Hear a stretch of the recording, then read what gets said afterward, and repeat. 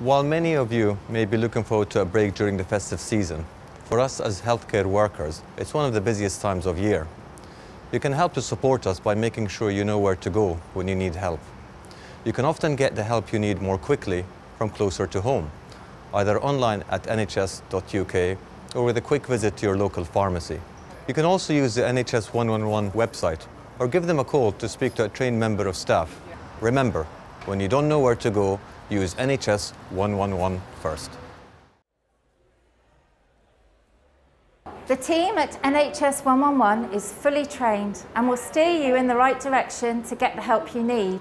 That might be a telephone appointment with your GP, seeing your GP in person, or directing you to the emergency department if it's a life-threatening illness or serious injury.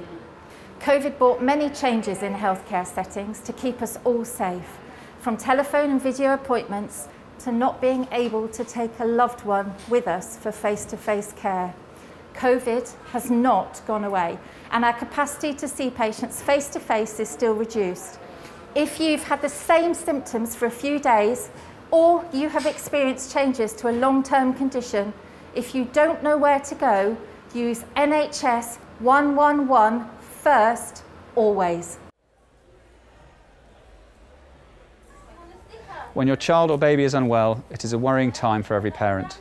Many of our children's immune systems are weaker this winter because of being in lockdown for so long.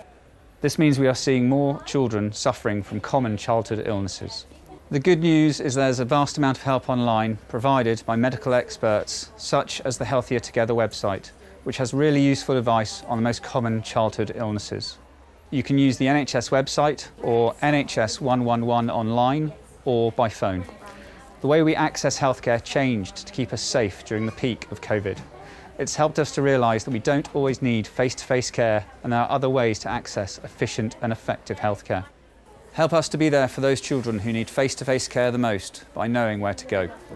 Let's all be healthier together.